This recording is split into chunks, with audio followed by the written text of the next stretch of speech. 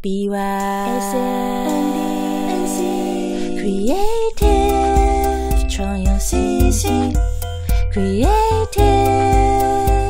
Commons。好的，接下来就让我们来谈谈创用 CC 的常见问题吧。需要注意的是，以下许多问题只是建议各位一个方向。实际上，当你真正发生问题的时候，你还是应该配合问题发生的情境，自行判断决定该怎么做，而不见得有一定的标准答案。当你有更多问题的时候，你可以到台湾创用 CC 计划的官网，上面有丰富的常见问答集，并且针对创作者跟利用人加以分类。当你有更多问题找不到的时候，你也可以直接对台湾创用 CC 计划来提问，或者你可以到社群协力编辑的创用 CC 入门 FAQ 来找寻你想要问的问题或是答案。当没有发现的时候，你也可以主动编辑上来，或者协助别人回答你已经知道的问题。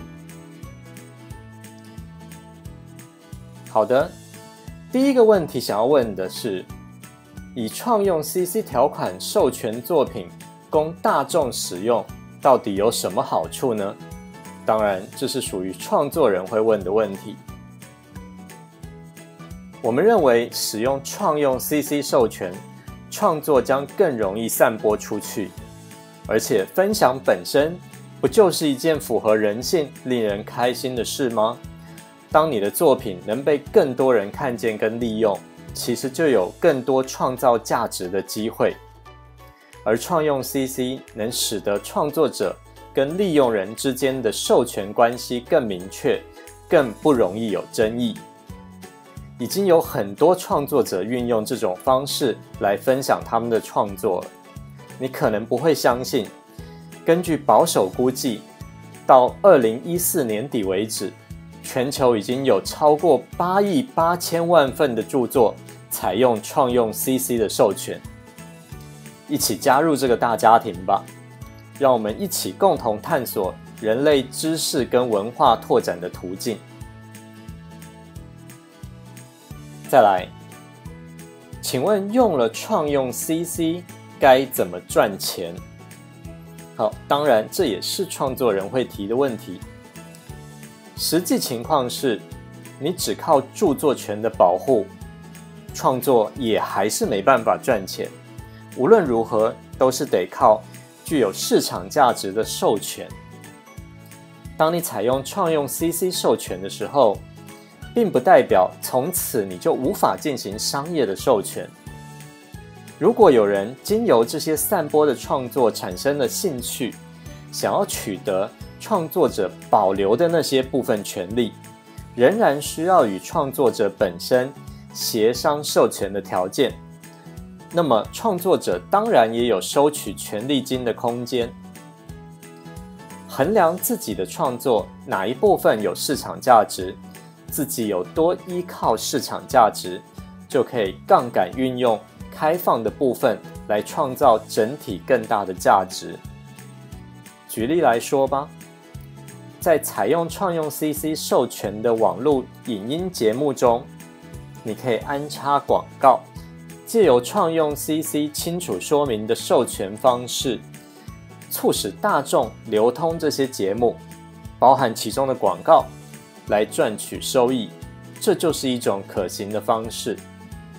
此外，国际创用 CC 总部也正准备出版。会诊创用 CC 商业模式的电子书，到时候你就可以一并参考，看看别人的案例，来想想自己是否也能够产生一个赚钱的商业模式。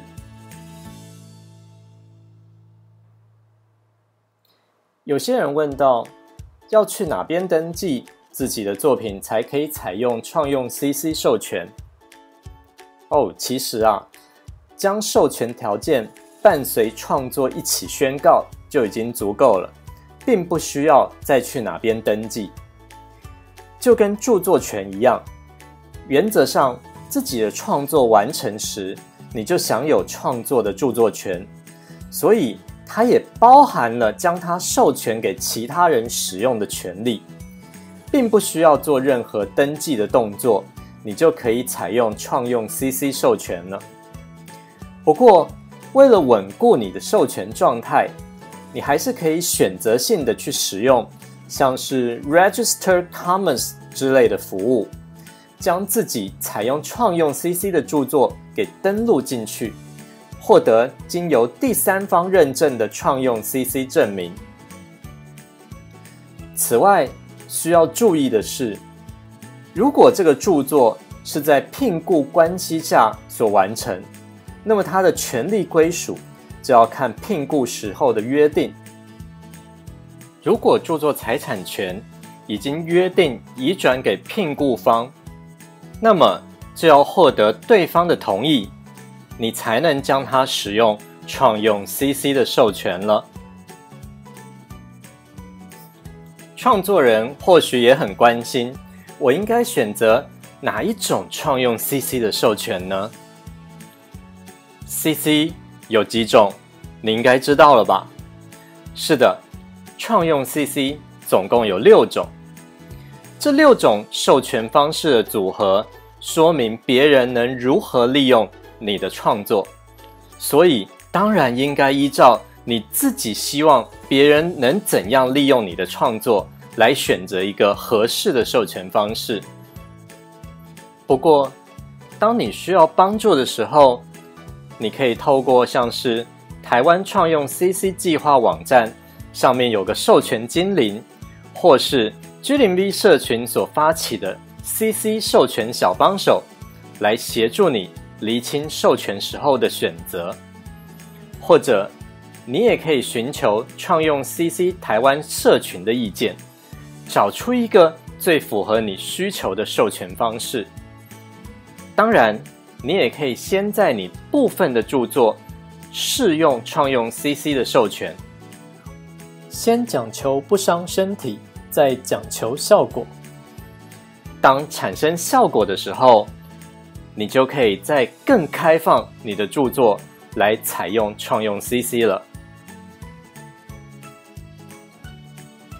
此外，也有很多创作人关心：我怎么知道到底是哪些人用了，又怎样使用我以创用 CC 授权出来的创作呢？简单讲，这就跟你不采用创用 CC 授权时候是一样的。目前并没有一个完美的方式可以知道，也就是说，并没有办法要求所有的利用人告知他们所有的使用方式。不过，现在有些网络服务，像是 Google 搜寻、Google 以图搜寻等等，都可以协助你。在网络上找出文字、图像作品的使用情形，但这些都仅限于网络。你事实上很难知道是否墨尔本的某位仁兄正在演奏你已创用 CC 授权的曲子，或是东京的哪一位少女将你使用创用 CC 授权的照片印在他心爱的马克杯上。虽然如此。由于创用 CC 授权必须包含姓名标示这一项，如果创作本身带有完整姓名标示的资料，例如将创用 CC 授权精灵提供的城市码潜入网页中，这样将可以提高后续的利用在网络中被寻找到的机会。还有啊，搭桥给别人走。或许也是一个好方法，像是有些人在他们创作的旁边，以 Wiki 的方式开放线上文件给利用人填写，这样可以让看到原作的人有机会看到衍生的作品，有机会吸引利用人自行来登录哦。创作人或许也会问。我的作品以前采用创用 CC 的授权，但是我现在改变心意，想要改回保留所有权利的方式，那么该如何取消呢？哦不，千万不要！想象一下，如果是你用了别人采用创用 CC 授权的创作，结果有一天原作者突然要收回他曾经开放给你使用的权利，这会造成你多大的困扰和混乱？事实上，一来是因为创用 CC 授权是对不特定的大众进行授权，因此无从撤销起；二来为确保大家对创用 CC 的信赖，也需要稳定创用 CC 的授权机制，所以创用 CC 授权啊有不可撤回的特性，也就是说，创作一旦采用创用 CC 授权。就没有办法再撤销了。因此，在选择创用 CC 授权方式的同时，你一定要将这个特性一并考量进去哦。教育领域的创作者也会关心，为什么禁止改作不建议使用于教材上呢？之所以不建议采用含有禁止改作的。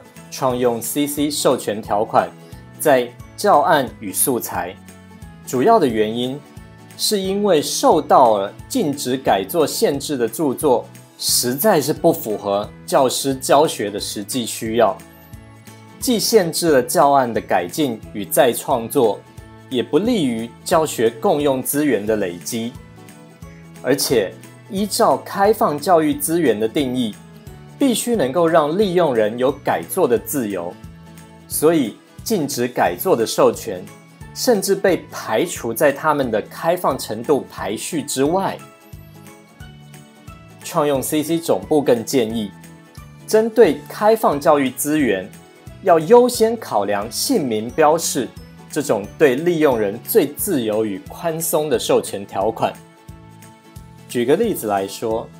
如果教育资源是由教育行政机关委托厂商来制作，而且教育行政机关有取得著作权，这时候因为创作者已经获得金钱上的补偿，而教育行政机关本身通常也没有商业授权的打算，为了让教育资源尽量流通，避免过多的限制，这个时候我们就会建议优先考量。采用创用 CC 姓名标示的授权条款。